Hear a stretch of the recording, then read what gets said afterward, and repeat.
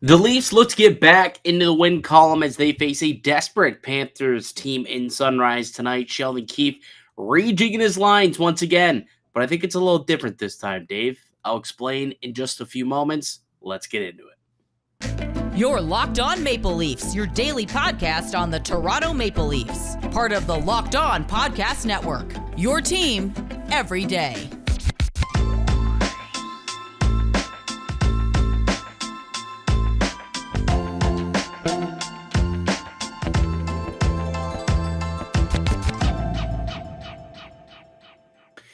This episode is brought to you by FanDuel Sportsbook, the official sportsbook of the Locked On Network. Make every moment more. Visit fanduel.com slash locked on today to get started. What's going on, Leafs Nation? It's Mike DiStefano and David Morassutti here, your host at Locked On Leafs. Uh, we got daily content coming out to you both via audio and video form. Go check us out, subscribe also um, to our podcast on YouTube. Our, we're, we're, we're, our goal is get to 3K by playoffs. We got less than a month to get to 3K. We're, we got what 27, 30, so we need about 250, 260 ish more followers to get to our goal. So help us get there. Share the pod uh, with the rest of your pals. That's part of Leafs Nation. Bunch of stuff to get to today, Dave. Um, we got some practice updates that we got to get to. The lines have been uh, rejiggled again. And uh, so we'll talk about that both up front and on the blue line. Um, we got a game tonight, Leafs and Panthers. And I mean, this is going to be, I think, a testy one. You've got Toronto, who wants to try and uh, avenge the loss that they just suffered in that poor performance against the Islanders. You got the Panthers, who are fighting for a playoff spot. Like this game will be meaningful, hopefully, for both sides. Yeah, and this is especially a Panthers team that's playing very well of late. Like they're they we I didn't think that they were going to be in a playoff position, just way that their season was going, and they, of course, proved me wrong after doing absolutely nothing at the trade deadline. So yeah, the Leafs are uh, not a great team to to face after you had a pretty brutal loss, but maybe a team that might get them to kind of push a little bit harder, try a little bit harder. I don't know. Hopefully. Well, the Panthers are seven, two, and one in their last ten games. So yeah, they've definitely clawed their way back into the playoff race. Up until a couple of moments before we hopped on to record, they were in a playoff spot. Now out of a playoff spot with the Pittsburgh Penguins laying a bit of a beatdown on the Colorado Avalanche, five to two. So they hop back up in that final wild card spot. We'll get into the uh, the Eastern Conference playoff race in, in a little bit. We'll kind of go through what's going on in, in both divisions in the wild card race. There's essentially three teams, two spots, and we'll kind of decide who we think might be able to pull through. But before we get into that, before we tee up to tonight's game, there were some uh, updates that we could get to from practice today. Uh, most notably, Ilya Samsonov has officially departed from the Toronto Maple Leafs. He's going to have his baby. So, uh, you know, good luck to him and, and his wife in that whole process. Uh, hopefully, everything goes swimmingly. And it, I, I, would assume that he'll be gone for a couple of games, a couple of days. So, yeah. Joe Woll's going to come up also, and he'll probably back up Matt Murray, who's going to start in the game against the Panthers. Um, so, I guess just first and foremost, from the Locked On family, uh, congratulations to, to Ilya Samsonov. Yes, uh, you know, maybe he had a little something on his mind when he was in that net against the Islanders. It made it seem like things were moving quick in that department of like he was like, all right, well, practice. He, leaving. He knew that he was leaving after this yeah. game anyway.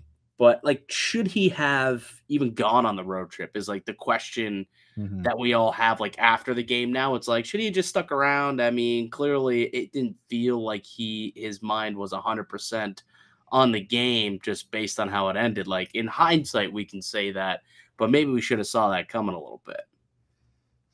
Yeah, maybe. I mean, like, here's the thing: some people say, "Oh, it's his job; he's got to be focused." But when you're, I don't know if this is his first child as well. Um, want, so when it's your first, there's a lot of nerves that kind of get brought up in those moments. You don't know how things are going to go. So I, I think that he probably yeah had a lot on his mind. Maybe it would have made sense just to not have that as a I wouldn't say a distraction, but just on his mind. Like Luke Schenn didn't join with the Leafs when his wife was close to having a baby. They just said, you know what? Just stick around. There's no point in you coming. they left him in Vancouver. Yeah, because like, they played in Vancouver, so they just said yeah. you can just stay. like, yeah, he was away from the team for like a week at, right after they got him. That probably makes more sense because he doesn't have to do that cross Canada travel as opposed to okay, you're in New York, something happens, you're a quick flight, you're mm-hmm. not too far away, we can get you home as quickly as possible. But yeah, I think when you're when you're in that situation, you kind of want to be close and not have to worry about you know is she if his, is his wife dealing with things or does he need to be there for his wife? Even just through that whole process it sounds like it was something that was on his mind for sure.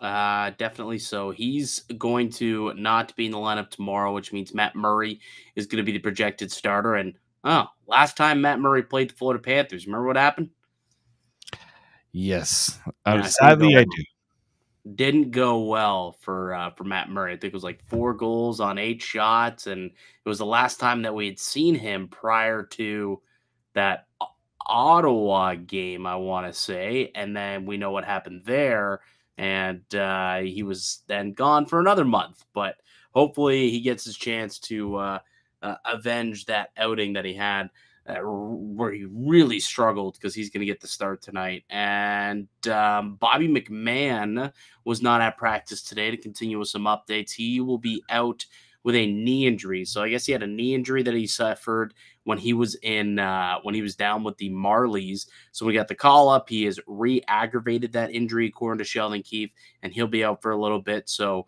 uh, looks like Wayne Simmonds checks into the lineup here. So um, potentially we could see another 12 and uh, 7 I or 11 and 7 situation with the injury and Simmonds was just playing there for practice reasons. I, am I'm, I'm not sure. I guess we'll find out at morning skate tomorrow potentially. Um actually no, I think I did see that it's going to be 12 and 6 if I'm not mistaken. I thought I did see I don't know if he confirmed exactly. He said he hadn't really said for sure, but it mm. seems like he's leaning towards the 12 and 6. Well, like are you are you done with the 11 and 7 i was done with it a while ago.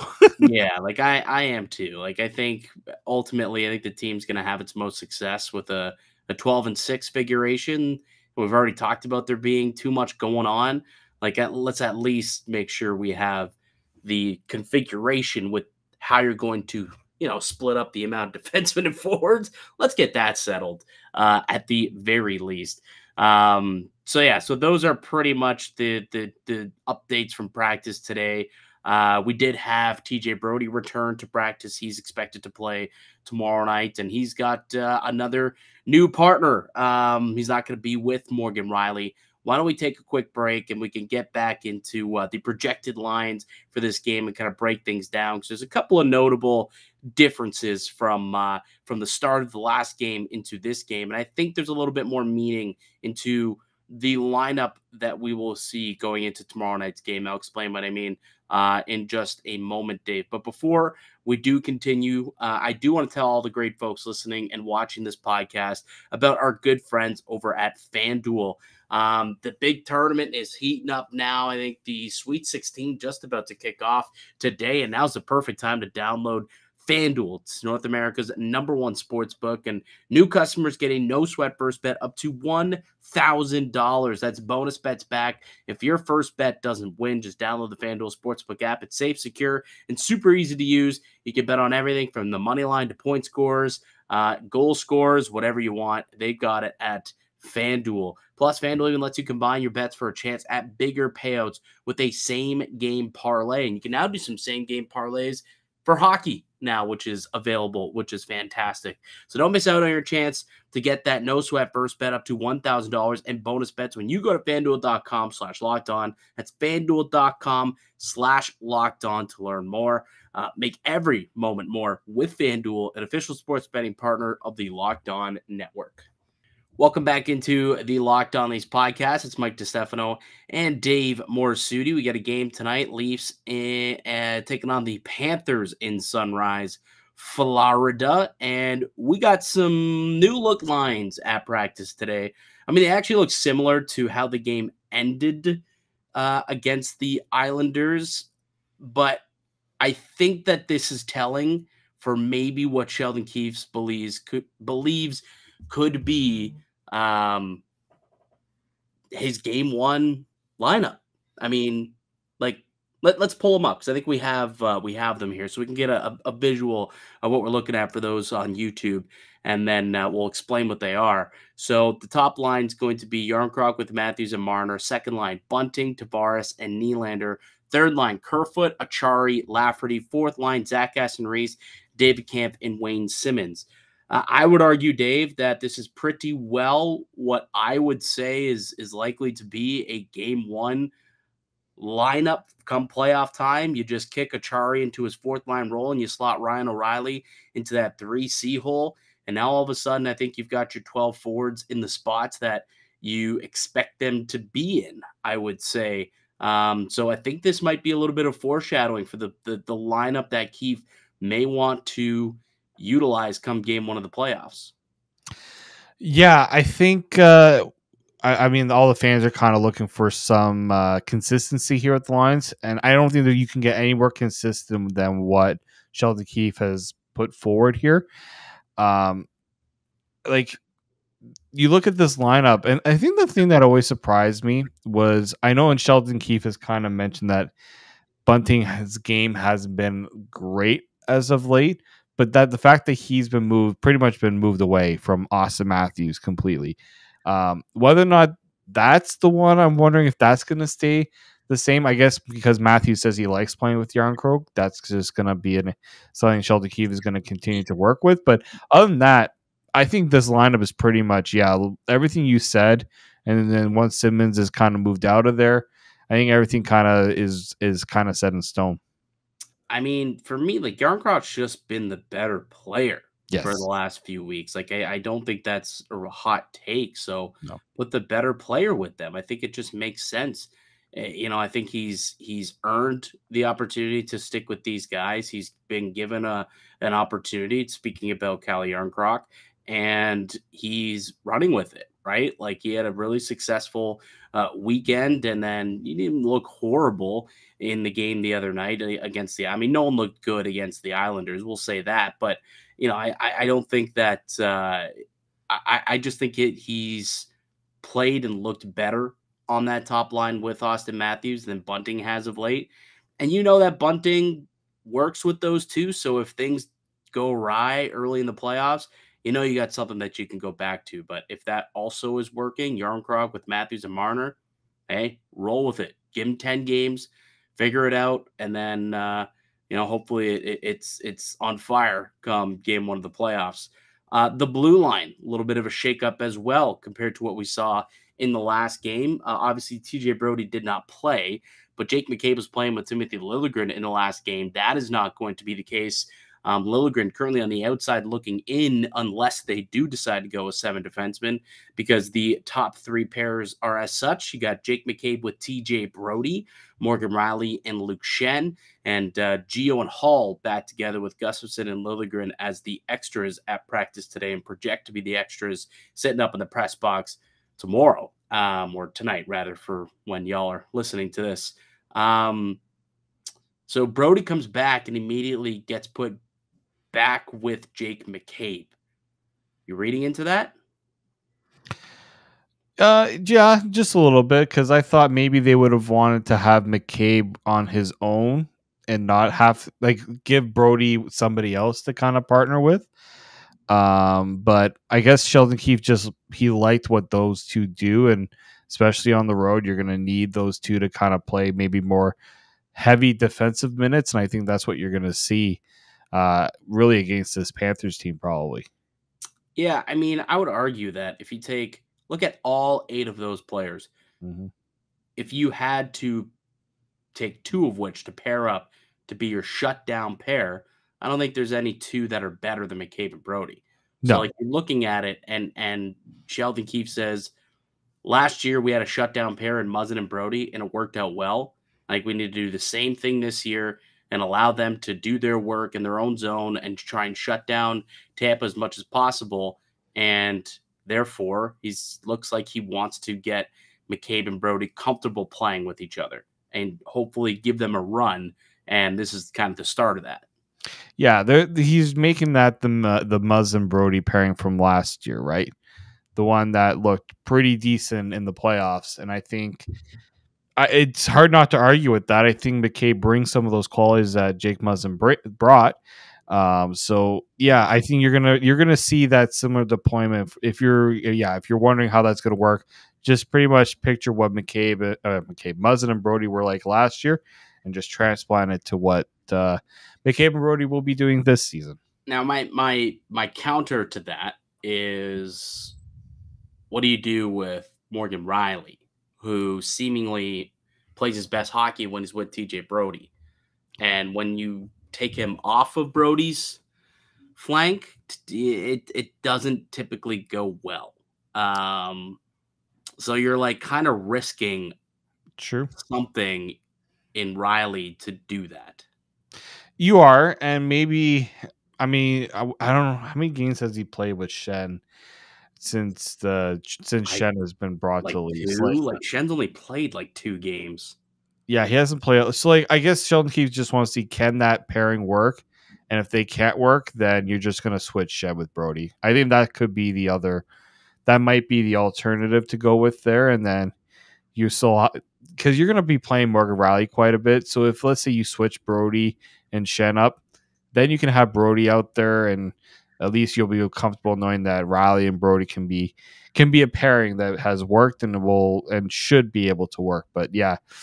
I think they're going to give Rielly. They should give Rielly and Schenn some time to develop some chemistry, see if that could work. Because no one else on that list of Justin Holl or Timothy Liljegren, in my opinion, you're not going to put Morgan Rielly with either of those two.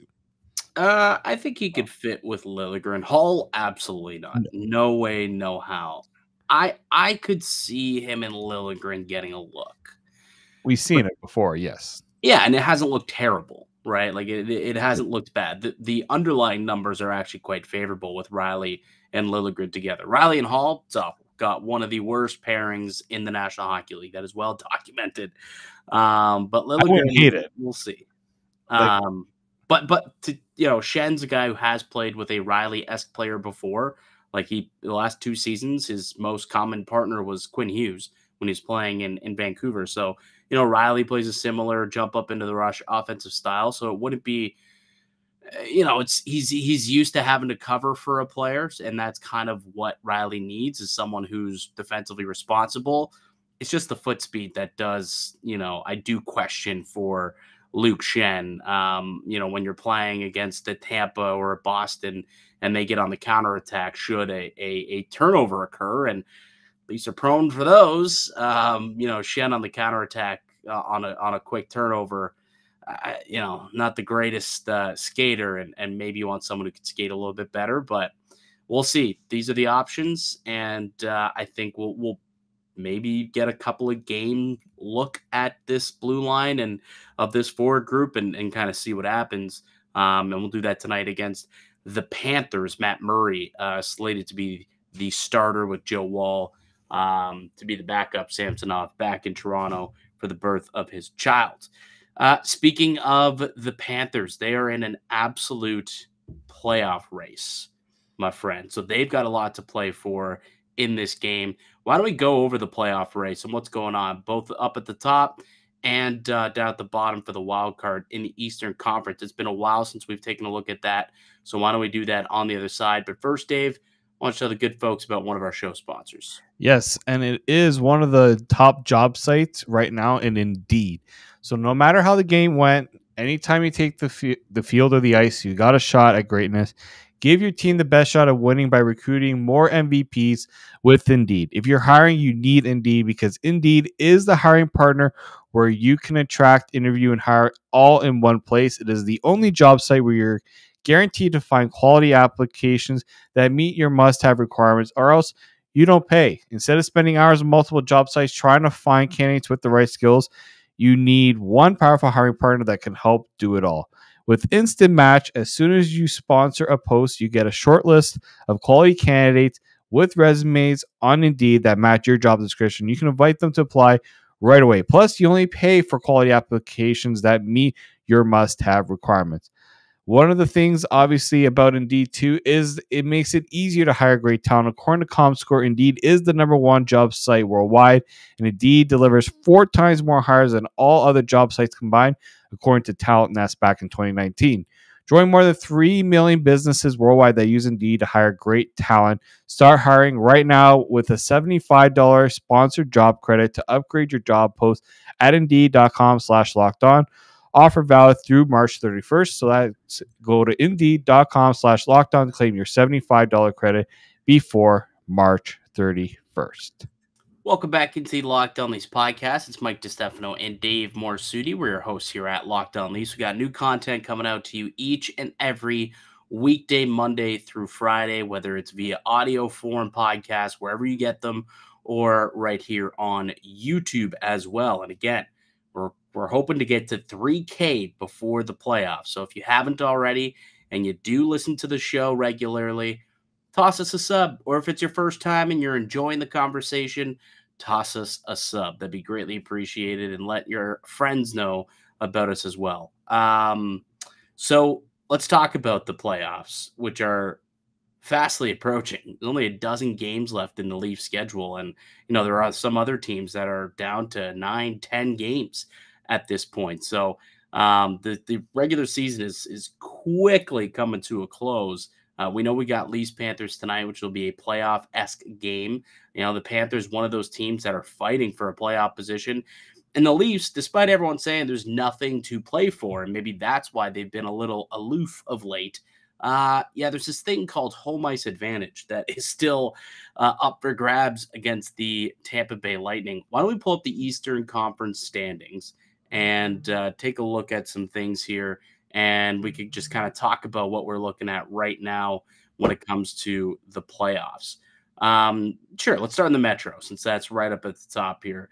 Uh, so, still a, a pretty good battle for the top of the Metro division. You've got the Carolina Hurricanes with 100 points. They had two games in hand, up two points on the New Jersey Devils. But that's that's definitely um, you know something that's still very much within reach for New Jersey to try and stake claim to that Metro division crown and and claim uh, first round uh, and second round home ice advantage.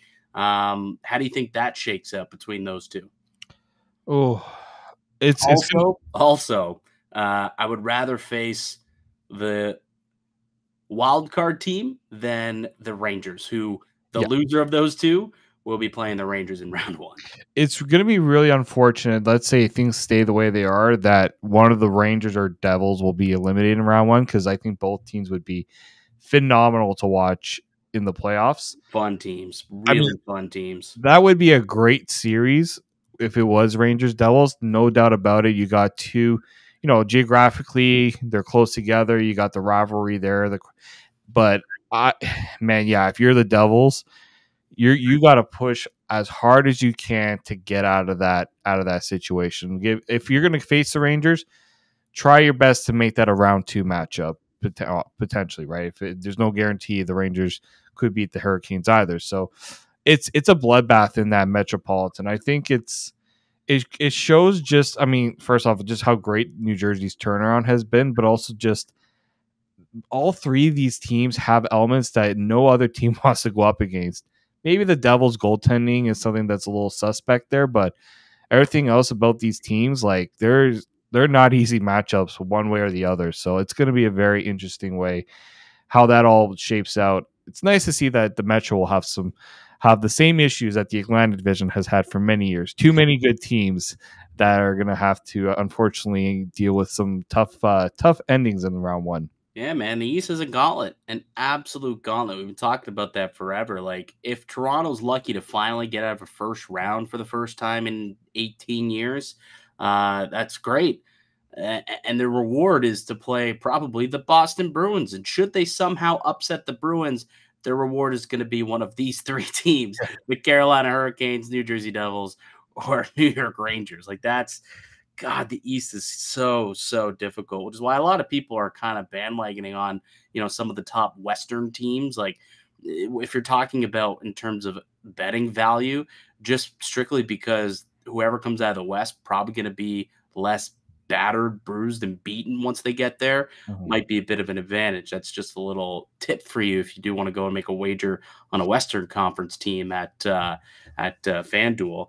Um, in terms of strength of schedule, though, when we look at these three teams, Carolina has the hardest schedule remaining of these three squads. They have the 12th hardest schedule. Um, they've got Boston, New York, Toronto, and Tampa all once. Um, and then if you look, it looks as though the Rangers have the 20th hardest schedule, and the Devils actually have uh, one of the easier schedules.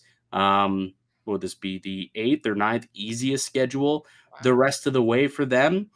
So not too bad. They only play uh, the Rangers and the Bruins would be the only two uh, real hard, you know, teams. I guess the Jets are considered a playoff team, but then they could pick up wins against Columbus, Chicago, uh, Pittsburgh, who's been kind of flaky of late, despite getting a win tonight. Ottawa, who's been very flaky. Washington, they got two against Buffalo, who's been, uh, uh, you know, a team that's been on the downswing. So you know, the Devils I mean, they've got a, an easier path to pick up some points here. Um, so we'll see what happens with them. Okay, let's look at the uh, Atlantic Division. And we're very familiar with the Atlantic, obviously, with the Toronto Maple Leafs being there. And this one's a little bit more cut and dry. You've got Boston at the tip top, 113 points. Oh my God. And still 12 games to go. They've lost 11 games this year in regulation. That's crazy. Only 11 games. And they are a plus 114 goal differential. It's it's just ridiculous the season that the Boston Bruins have had. And then you get to the second and third team in this division, Toronto, Tampa Bay. And uh, only three points separate them. Toronto with two games in hand, though. Um, and they do play each other uh, coming up. I believe there's still there's only one game between them. Yeah, they got one game against each other coming up. Um, and that could be a very pivotal and important game. I would imagine. Uh, but you know, there's there's I, I I find it odd that there's a conversation, Dave, that home ice doesn't matter. Like, where do you sit on that? Because I think oh. that it matters a lot. Oh, it matters big time. I when you look at just what it, it has nothing really to do with the fans, even more so just how you how teams strategize for the road and away matchups. Like I, I think that's become such a big thing. And even if you're the Leafs too, there's one factor that I think people forget. Ilya Samsonov looks so uh-huh. much better at home than he does away. Yep. Like you're telling me you don't want to put yourself in a situation where Samsonov gets to play potentially four games at home versus three games at home. Yep. I think I'm gonna I think the math kind of works in the least favor if they get home ice there. Speak my language on that one, buddy. Speaking my language on that one because that's exactly what I was going to bring up. He he allows a full goal less at home than on the road, like a full goal on you know a per sixty minute basis. It's insane. Um, scroll over a little bit so we could see the home and road splits as well, because that's something that you also look at and you probably think to yourself, yeah, Tampa's pretty good at Amalie Arena. Maybe we don't want to go into that building uh, four times. So you, you, talk about look at that 25, 7, and 5. Both exactly identical. An exact record of 25, 7, and 5 at home. So home ice advantage. Does that mean anything to these teams? Clearly it does. If you take a look at the the the splits here right now on the road. Last time. Tampa's a 500 team on the road. Yeah, bring them to Toronto four times. Absolutely, home ice advantage means something. I look can't believe the nonsense that's coming out of people's mouths saying, well, they had home ice last year and look what happened. It's a different season. Okay. Yeah. It's a different year. And clearly, clearly, it still freaking matters, people. Can can these two teams just stop being so identical at times though? Like both teams are five, four, and one. Both have identical home records. If you look at the playoffs last year and how almost identical the two teams played against each other. Like it's yeah. it, it's it's getting a little too crazy here. I'm gonna it's it's getting a little a little weird. I'm not means it should be a good series, right? Yeah. And and I know it will be. Ultimately, it's it's gonna be a, a, a terrific series. You know it's going to be. Um, but where like the real battle, I guess, lies here in the playoffs in the East is for the wild card spot. And ultimately, you tell me if you think there's another team in it. But for me, It's three teams, two spots. You got the Islanders, who currently are uh, in the first wildcard position, 82 points. You've got Pittsburgh, who, with a win against Colorado tonight, jumps ahead of Florida. They've got 80 points with uh, 11 games to go. Florida, one point back of them on the outside looking in, 79 points, also 71 games to go. Um, Dave, gun to your head, which two of these three teams do you think makes it in? Man, um, I still think Pittsburgh gets in. Like they're first, like I'm I'm locking them in. I said the Panthers uh, were the team that looked like they're gonna get in. I'm gonna stick with that. I think uh so you got the Islanders who are currently in front falling out of it. Yeah, I think so. I think the it's going to be tough if the Islanders can't get Barzal back. I know Brock Nelson left that game against the Leafs. If he's injured, I don't know what his status is at all. Like the Islanders can't afford to lose players right now, and I think the Panthers not only they get they were were they getting players back, but they've been playing so much better of late. Oh, you just watched the Islanders spank the Leafs, man. Yeah, but the Leafs spanked themselves in that game. That's true. so like I, I I couldn't I think it was Armando from Locked On Panthers that brought up a like a great point of just how good um the Panthers have been since the trade deadline. They have been really good. And they're getting good goaltending. Like Bobrovsky's been solid. Chuck's been great all year. He's like an undercover um yeah. MVP candidate if they make it into the playoffs, legitimately. Yeah, like they've been they've been so good of late and I think I think they're just hitting they're hitting their stride at the right time, right? They're that's that's what it all yeah. comes down to, especially when it comes to getting a wild card. It doesn't matter what you did prior to the start of the season. If you can get on a run at the right time, watch out. like if I'm the Islanders, I get a little worried because they did have a bit of a lead. They had some cushion with the games in hand. That's not really much the case anymore. I know the Islanders have played well. The, the one thing that Islanders do have going for them is Ilya Sorokin. He wow. is the guy that can. He's the difference maker. He is like he is uh, like he is the best goaltender out of all those teams. If you ask me what's the deciding factor of what why the Islanders could keep their spot, it's because of Sorokin. But I don't know. I don't know if the Islanders will have the manpower to get it done.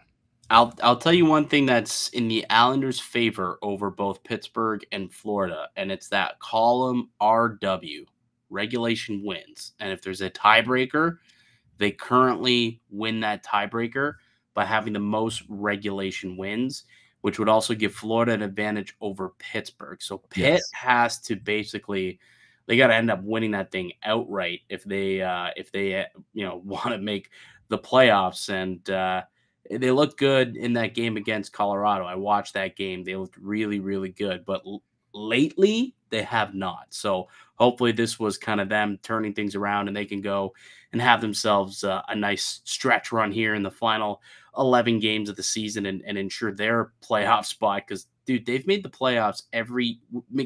Um, Crosby has been in the playoffs every year since his second year in the NHL. Missed in his first season second year onward, since he's had the captaincy, this man has brought this team to the playoffs. We already know that Washington and Ovi not going to be in the playoffs at this point. Like we need one of those guys in there, don't we? Like, yeah, one of them's got to make it in, man. So Pittsburgh, I, I'm I'm hoping that Pittsburgh is the team that makes it through. I actually think that it's going to remain the way it is. I think the Islanders will sneak in. I think Pittsburgh's going to sneak in.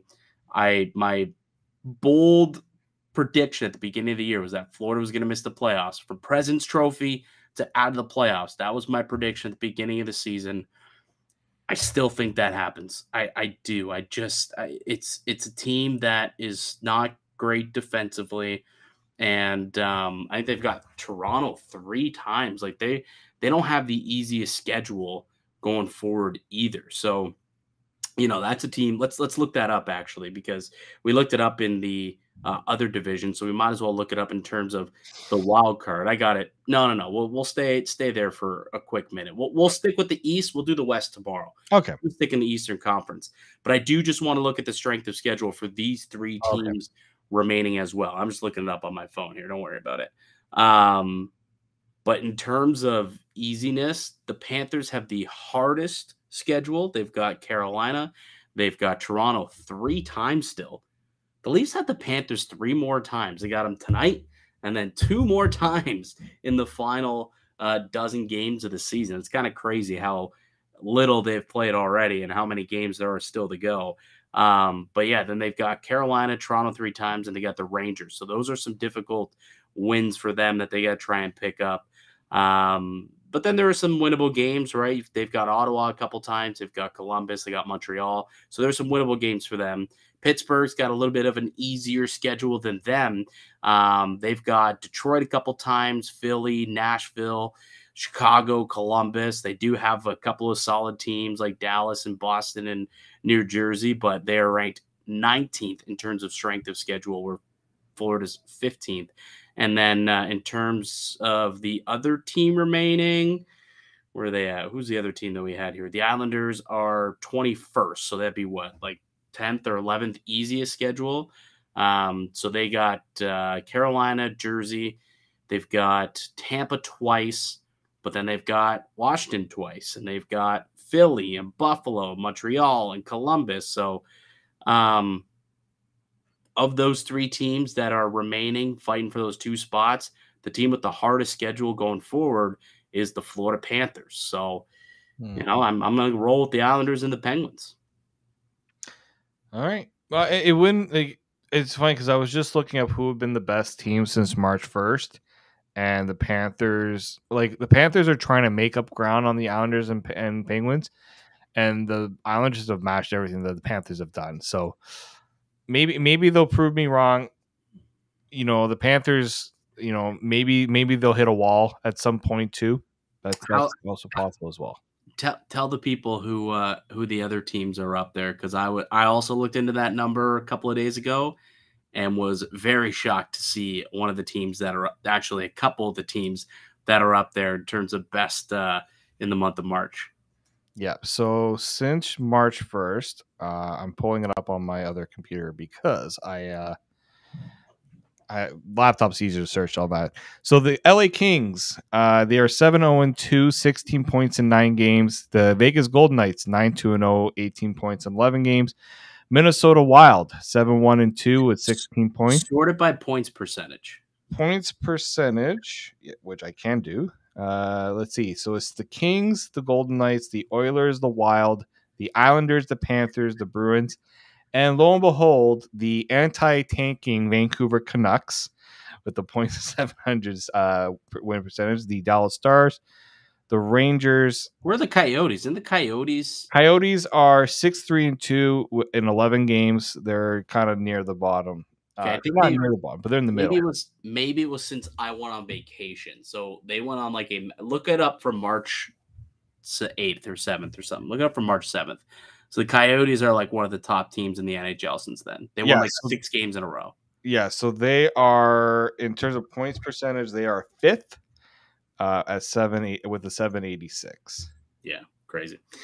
just in case you didn't know, like guys like Clayton, have been tough to play in the last two weeks. Yeah, Clayton Keller, uh, I think Nick Schmaltz, Barrett Hayton, unreal top line. They actually have apparently they do have some decent players among all the retired injured guys um, that that team pays for. Well, they're probably going to cost themselves a Connor Bedard by winning all these games. So yeah, the, that's what uh, you get. That's what you get, Gary. I blame Gary. Actually, before we leave, um, you want to pull up the Connor McDavid audio? Yeah, we can do that quickly. Yeah, let's do that really quickly. Uh, we kind of spoke about it yesterday because we were both pretty angry after the World Baseball Classic and, and just thinking to ourselves, like, why don't we have anything like this in hockey? And it's really disappointing.